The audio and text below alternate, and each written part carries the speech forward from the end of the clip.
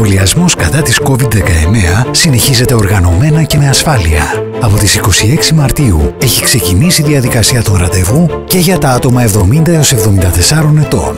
Μπορείτε να κλείσετε το ραντεβού σας εύκολα και απλά με έναν από τους τρεις γνωστούς τρόπους.